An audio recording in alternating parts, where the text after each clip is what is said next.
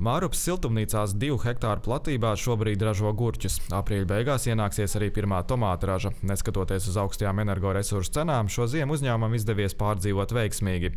Mums uzņēmumā ir dažādi apkurses veidi.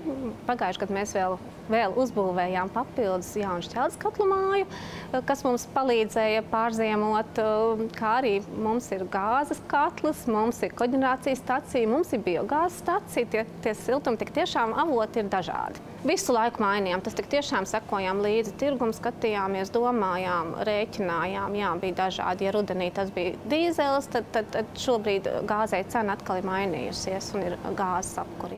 Tā kā par elektrību uzņēmumam bija noslēgts ilgtermiņa līgums, šodien nekādas cenu svārstības nesot bijušas. Tiesa apkurs izmaksu dēļ nācies atteikties no gurķa audzēšanas vecajās siltumnīcās. Rudenī pieņēmām lēmumu par četru veco neefektīvo siltumnīcu nojaukšanu. Viņas ir būvētas 1979. gadā. Protams, ka viņas vairs nav efektīvas, tās mēs nojaucām, bet viss pārējais, jā, taupījām, plānojām, domājām, jā, bet, bet esam pārziemojuši. Arī uzņēmumā Getliņa Eko par šo ziemu nesūdzas. Šeit vienkāršot sakot, siltums tiek iegūts no gāzes, kas rodas atkrituma poligonā. Getliņos visu ziemas periodu ienāk tomātu raža. Šis gads audzēšanas ziņā nav atšķīries, man nav nekas mainījies. Jo siltums un gaisma tiek nodrošināta praktiski nu, augi nejūt atšķirību no gada no gada. Siltumu Getliņa siltumnīcām uh, padod energobloks kas viņu saražo, eh, nu, var teikt, siltums paliek pāri, ražojot elektrību. Uzsils tie motori, es neesmu tik gudrs inženieris.